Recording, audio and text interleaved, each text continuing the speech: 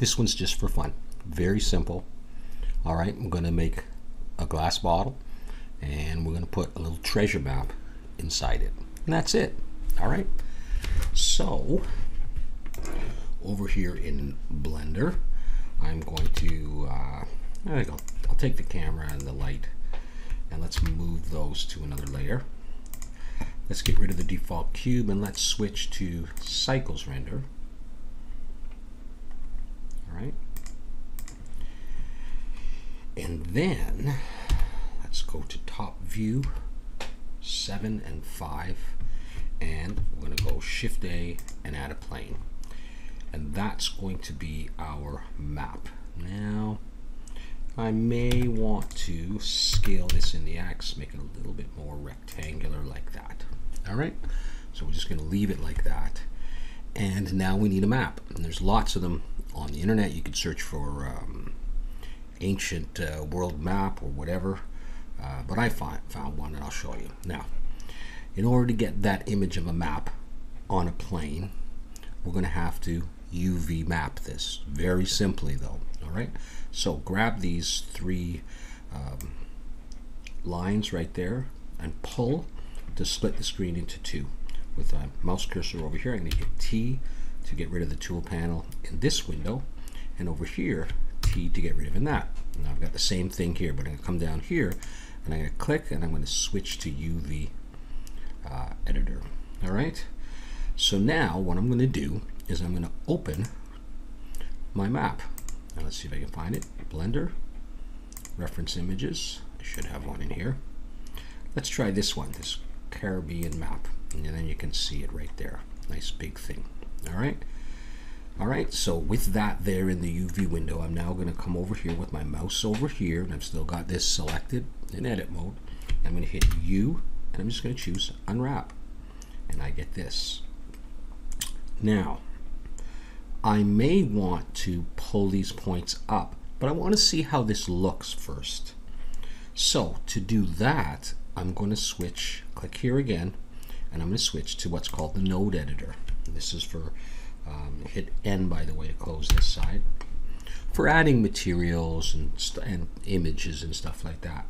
So, I'm going to come out of edit mode back to object mode. All right, object mode down here. And I'm going to switch this over to material. I don't see anything yet, but once I put the image in, I'll be able to see it there. We need to give this a material. And then to that material, we're going to add the image of the map. So back in the node editor window here, I'm going to click on new, and that's going to put down some default boxes called nodes. Already, this has a color, white color, and we can see that there. So I'm just going to slide this across a little bit. I want to add something to this. I'm going to go add texture, image texture. That's the same thing as uh, like an image map. I click that, that puts out a box. It's still selected, so I'm going to drag it over here. And I'm going to connect this color yellow dot to this one just by clicking and pulling and doing that. All right, now it turns black because there's no actual image selected. But because I opened, and let me zoom in a little bit, because I opened that map earlier when I was in the UV editor, it's in memory. So I'm going to click here and just choose it and now I can see my map there. So I do want to do some scaling in order for this to fit better. So I'm going to come back to the UV image editor. I have to go back into edit mode here. And let's try, first of all, I'll just show you if I hit G for grab and in the Y, so if I go GY, so it's constrained, I pull it up, you can see the way the map is moving. What if I was to sort of center it there, deselect, and then use B to box or border select and draw a, a box around there, and then go G, Y, grab in the Y and pull it up to there. All right, so I get that line there. Deselect and do the same. B to box select, G, Y, and pull down sort of an equal distance like that. deselect and come over and look at, let's go back to object mode and deselect. There we go. There's our map. Looks pretty nice. All right, so we're all set. We have a map on our plane. Let's close this window by pulling on those lines until we see the arrow and then release. There we have this full screen. Okay, let's save our work. Now we're going to create a bottle for our map to be rolled up in and just sit in there. All right, so in front view, let's create this out of a cylinder. We're going to make a very simple bottle. So I'm going to go Shift A, Mesh, Cylinder. All right. I'm going to leave the default values of 32 vertices, but I think I'll switch from the cap fill, make sure that it's on nothing, which it is right now. Let's hold control and the Z arrow and bring it up so it looks like it's resting on the ground. Okay, front view again. Let's make our bottle. Let's go into edit mode. Now we're just going to make a very simple bottle. I'm going to zoom in and deselect and then just turn a little bit and I'm going to go shift alt and click that edge right there. Let's pull this up. I'm holding control and it will sort of snap to these increments, these grid, uh, grid lines. So I brought it up a little bit and now what we're going to do I'm going to be in front of view for this is hit E to extrude and I'm going to pull it up to about there maybe there. That's sort of halfway and I'm going to hit S to scale. S I'm going to pull my mouse in like that. I'm going to do that one more time E to extrude and I'm going to pull it up just to there. Looks a little bit like a thermos but that's okay. And now I'm going to come to the bottom and go shift alt and click that edge. We're going to close this off. I'm going to hit E to extrude, S, I'm going to pull my mouse in just a little bit. Let's do that again. E, click, S, pull it in a lot farther, E, click, and then Alt M to bring up the merge dialog box and choose that center. Just hit enter. And that has closed this up nicely. Okay, now let's go ahead and try adding a subdivision surface to this and see what it looks like. Okay, it's very it's very smooth like that, but we want it to have more of a bottle shape. And so we're going to add some edge loops and beveling and stuff. So I'm going to go back into edit mode. So I'm just hitting the tab button to do that, but you could do that down here. Edit. And I am going to, as you, you see the way when the, you get the subdivision surface, it warps the shape of the bottle. I'm going to go Control R and I'm going to bring an edge loop up close to there. But I don't want this to be too sharp. So let's come out and look. Okay, it's not too bad. Let's add an edge loop down here to make this look a little sharper down here. Control R. Pull it down near the bottom, not right at the bottom though. Let's try that. Let's deselect. That looks okay to me. Let's fix up this top part here. All right, uh, let's go Control R. Let's try bringing one in here, just about there. I like that. And let's do another one here. Control R and bring it down a bit. I'm just squishing out this white jelly-like uh, non-distinct stuff. All right, so I'm not bringing the edge loop here right to this edge. I'm just bringing it in the vicinity to sharpen it. But remember, this is a glass bottle. It's not too, too sharp.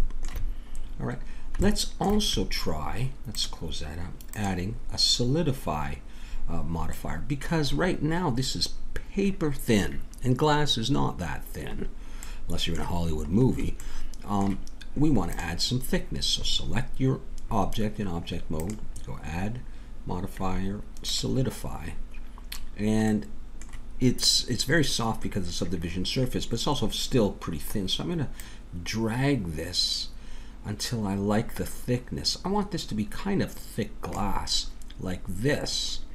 And I like that, and so I'm actually going to apply that now, because I've got a subdivision surface that looks, it doesn't give it as, uh, as much thickness, but I'm fine with that. So let's go in and add some more edge loops because that subdivision surface is smoothing it, but we want to sharpen it a bit, bit more. And what we want, what I want, I don't want this quite that round. So I'm going to come in, I'm going to go Control R and pull an edge loop up near the top. And you see the way that black area is becoming sharper, more thicker instead of instead of like this, it kind of just blends. I do this and it's like pushing it up there. But I'm not going right to the very top. I don't want razor sharp.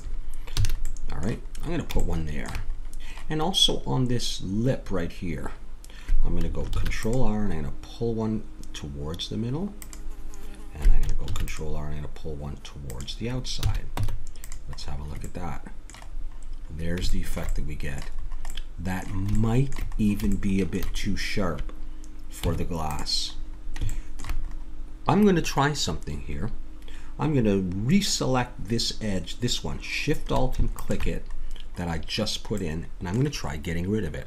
I'm going to go X, dissolve edges from the delete menu, dissolve edges. Let's go back into object mode and let's look. Do I like that better? No, not particularly. I think I will keep that. In, and I'm just going to leave it there. In fact, I might even want to put an edge loop in here, and that may help me a little bit. Let's try that. All right. Do I want anything in here? Do I? I don't think so. I think that's going to be just fine. Let's just have a look at the overall shape of this. It might be worth putting an edge loop here, pulling it up, and another one here, and pull, just pulling it down, just to reinforce the sides so they're nice and straight. Now, this might be a bit too big. Or maybe I want a narrower neck, but I do want a jar-like thing. Let's have a look at how we could adjust that if we wanted to. One thing we could do, if we wanted to, if I wanted to make this a little thinner, we could try that, is we could go into wireframe. All right, or right down here, from solid to wireframe. And in wireframe mode, we can B to box select this whole upper area now I'm in edge selection mode right now. I could have been in vertex or in face, doesn't really matter. And I could shrink this in, but not affecting the height by going scale, but to avoid the Z, going Shift Z. So let's try that. S, Shift Z, and let's pull it in. See the way it narrows? Let's see if we like this effect in solid view.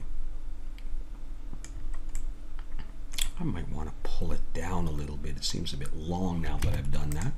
It's still selected, so I could now just go like this, just being aware things may happen when you do this around the edge of the bottle. You know, that's fine. It looks a bit like a medical jar to me, like something with specimens and formaldehyde. All right, well, good enough. All right, so now let's see what we've got. We've got the bottle, and we've got the map. Now if you compare the size of the map to the bottle, we can see that, um, here I'll go over to, I'll try material like that. We can see that the map is quite a bit smaller and it's going to be rolled up. So let's now adjust the size of the bottle in every dimension. I'm going to do this in object mode, just here in object mode, and I'm just going to scale the bottle like that bring it back down again and sort of just compare the sizes of these and try to imagine this rolled up standing inside we can of course adjust all that later um, because I scaled this in object mode it's a good idea to um, for example if we come over here hit N and look at the scale um, I've got some weird 0.525 numbers but if I go uh, control A and apply scale. Watch those numbers. They go back to one, like Unity sort of. And I don't mean the, th the 3D package, 3D 2D package. Oh, I love Unity. That's my next thing to get more into. Um, all right, anyhow. I was going to pull that down. We're good. We got a jar.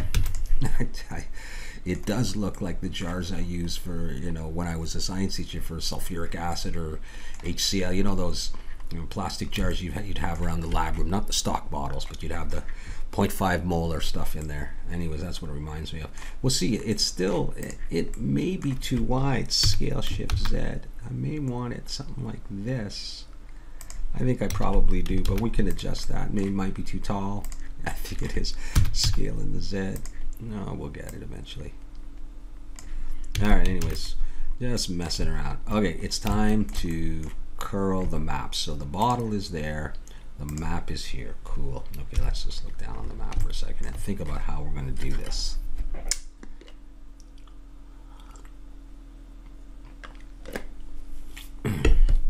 right now, this map is just a plane.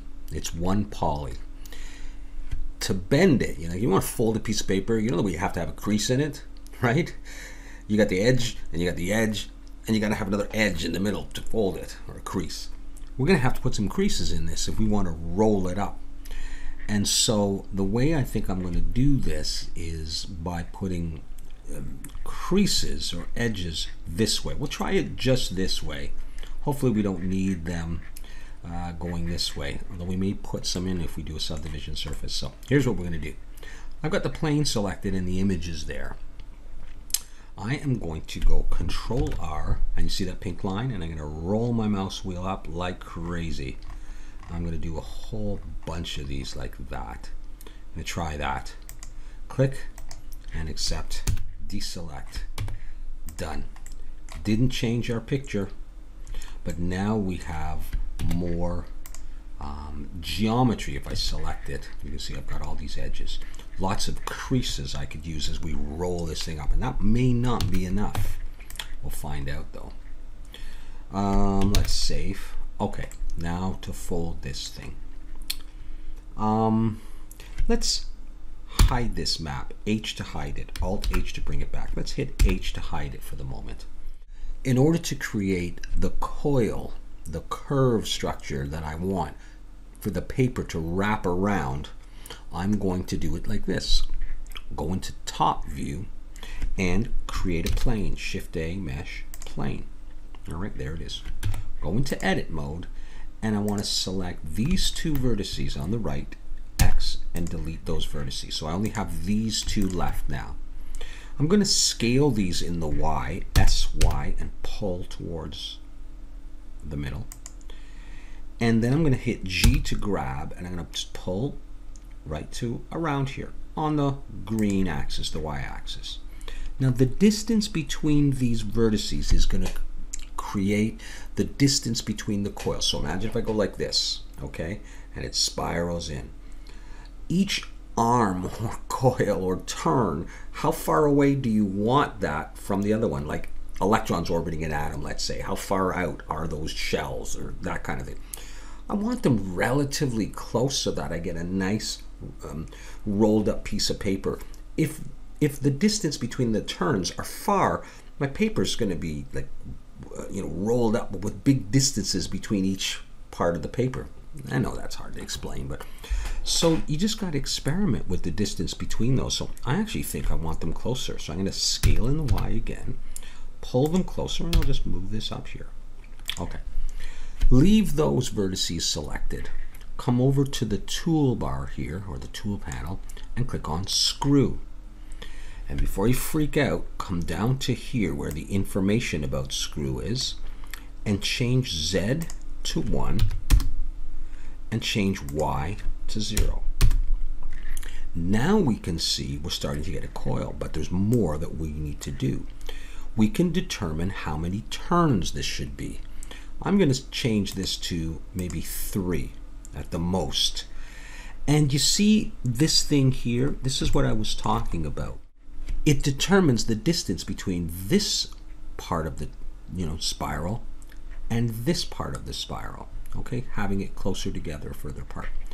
The other thing that we can do though to make this smoother if we need to is change the number of steps. I can increase that and add more polys just to make it smoother. I'm not sure it was going to really matter for the wrapping of the map. But anyways, okay, so we got that so far, right? Now, let's switch over to edge because what we really want is an edge.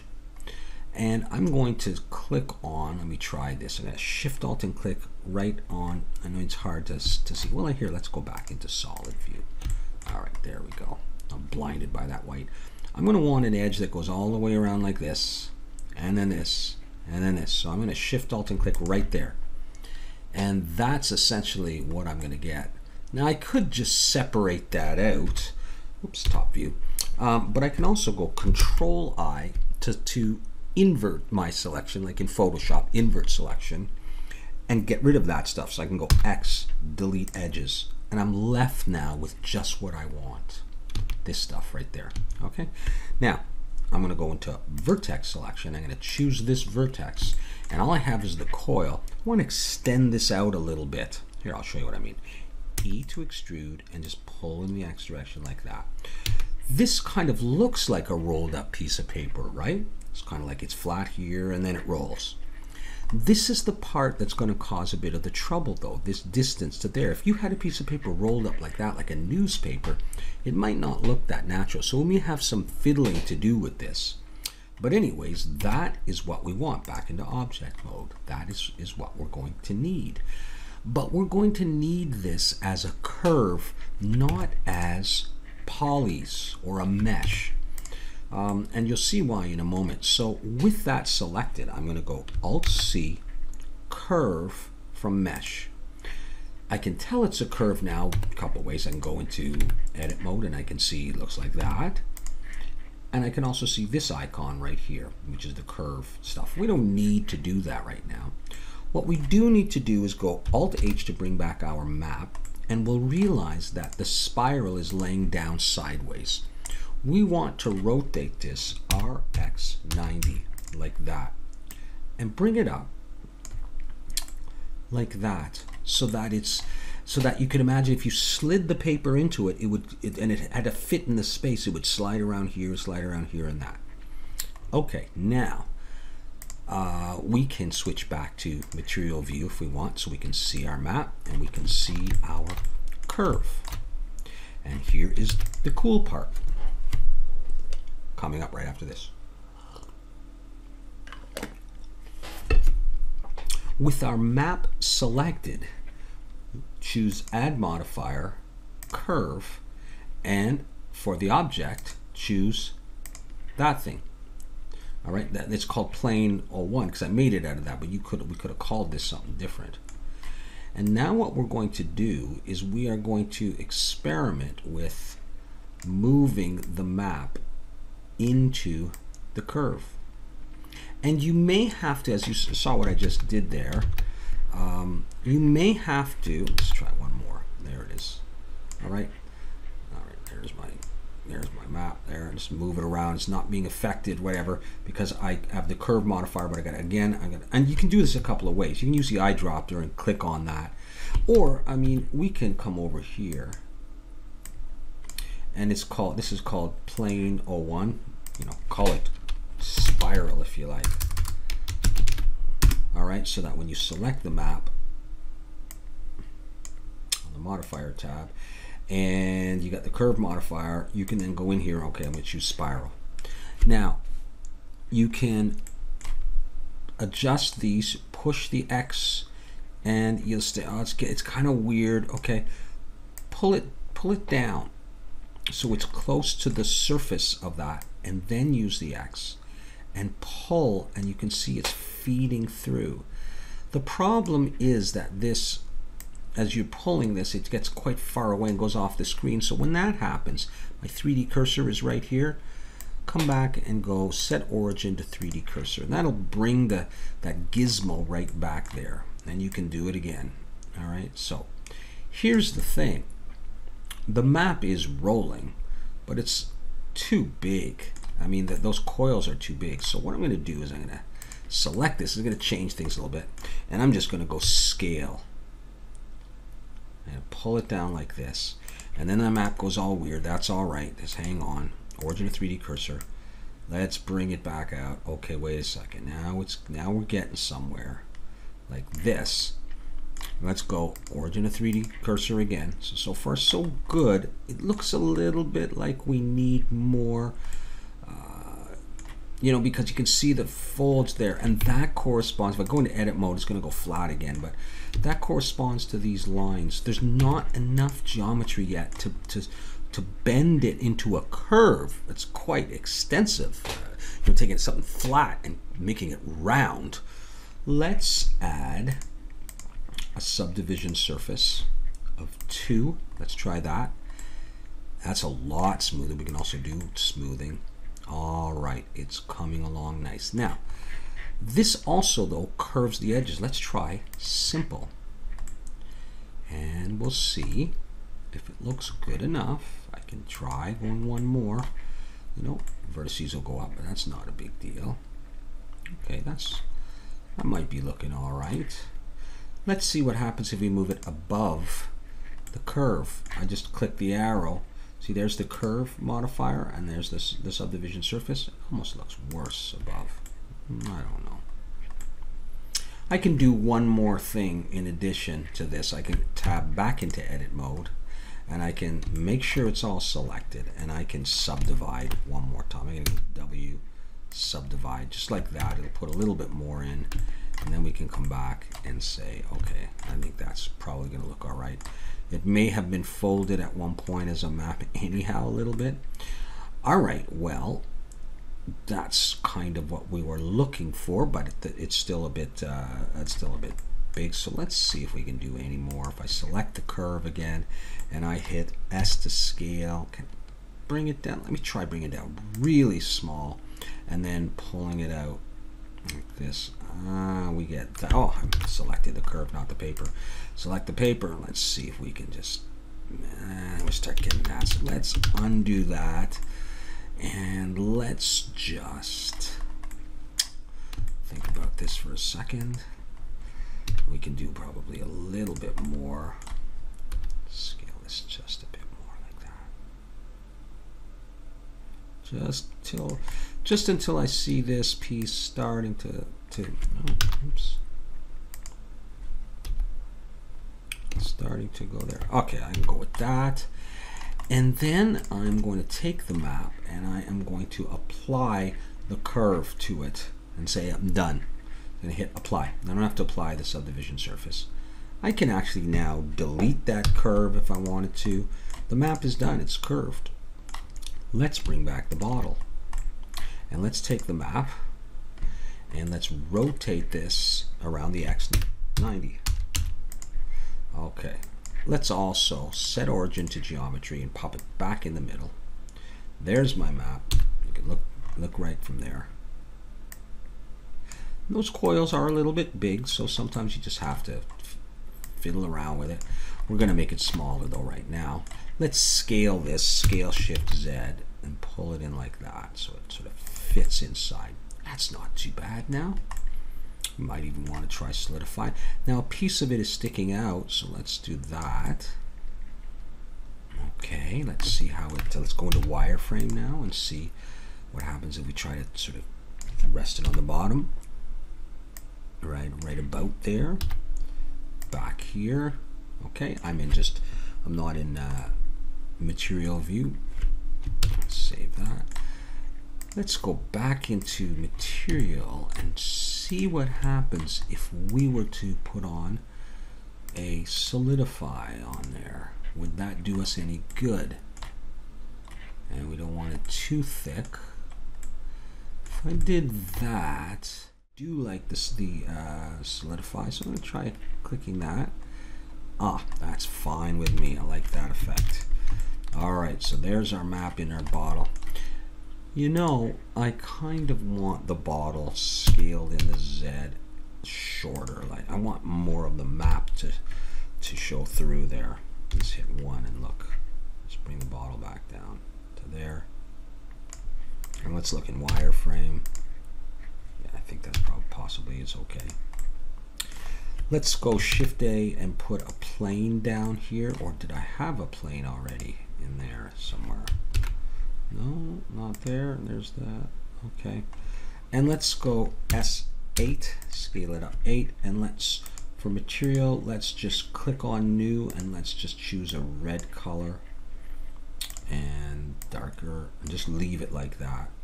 All right. So there's our map and there's our bottle. Let's bring the bottle, let's actually bring everything on this layer, M, move it back to the first layer. So I have that. let's go back and look at this uh, in material. All right. And let's see where our, where's our plane. Looks right on the ground. Okay, so let's select this and this. And not the plane though. Bring it down just a little bit more. Okay, so far so good. Let's have a look with the camera and lights. I'll select that. I'll hit zero to look through the camera. And um, let's go to the inside panel. I'm going to choose lock camera to view. I'm going to zoom in like this. Let's have our first look, Shift Z. Okay, there we can see our map and our bottle. The map is looking a little bit um, faceted. Maybe I needed to subdivide it more. I should, possibly should have done that earlier. Something to think about. Uh, let's go out of camera view and find that light. And what is this? Let's, there's a sun. Let's click, uh, oh, it's, it's a point light. Let's click sun. Change the size to say 3 and use nodes and change the strength to say 5 and just leave it like that. Go back into camera view and just have a look. All right, starting to look okay. We now need to do something about that bottle, but also I want to hit the home button and make it more full screen. Okay, cool. Well, I think for this, I am just going to use a glass material. Let's try just a typical glass material. So select the bottle, click new, and under surface, choose glass. Uh, Beckmann, leave the index of refraction, choose the color. I just want it a little bit more green. We'll try that and see. Let's have a, have a look at what that looks like. All right.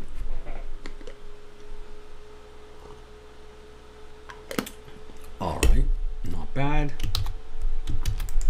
Let's come out of camera view and let's do another, let's maybe just take this light and shift D, copy it, bring it over here and just move it and just try different views and uh, hit R and try to get it to point. It didn't work, did it? R and pull, just try to get it to point towards that from the side of the camera. And I actually, I like Hemis, I really do. That might be too bright though, but let's just have a look at that. And I just want to turn this. I like I like those kind of shadows. All right. Well, that's the general idea there. Let's take this and scale. We could also decide maybe we'd like to use a different lens on the camera, like say 50. All right, that'll give us a nice, nice view. I'm not sure I want that edge there, so.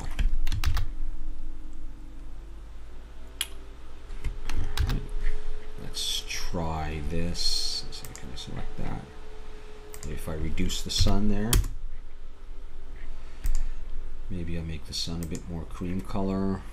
And maybe I make the Hemi a bit more opposite, maybe a little bit more bluish, and maybe uh, so no, go to materials on the glass.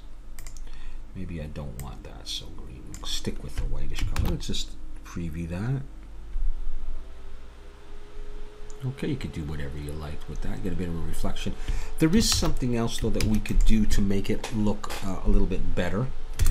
Um, and that would be to split the screen again. With my mouse here, hit T, and my mouse here, hit T. Switch this to the node editor one more time, and to close that side. And click on the world icon down there. There's nothing there.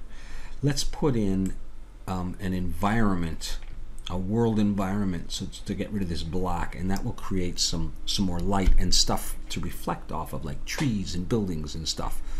All right, so what, we, what we're going to do is we're going to come over here where it says use nodes, just click that. And that'll lay down this stuff, background and a world output.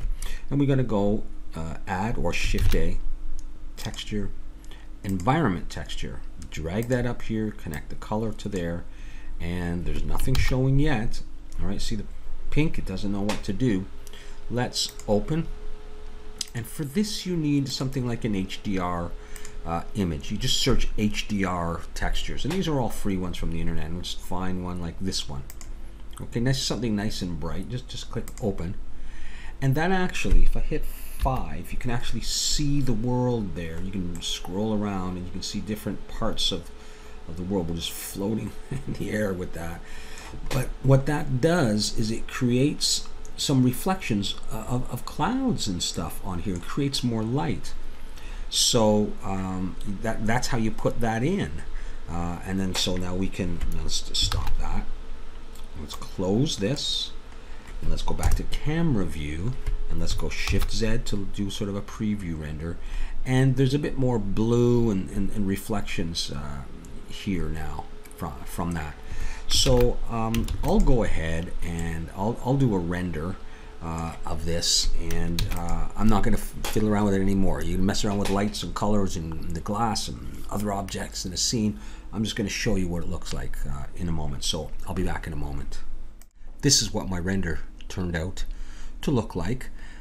And there are things that you could certainly do to improve this. Um, for example, I just used, I'll come out of that for a second.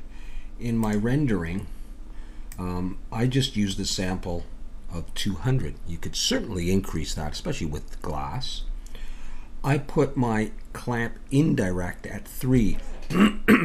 you could experiment with numbers between, say, 3 or 3 to 10, somewhere in there.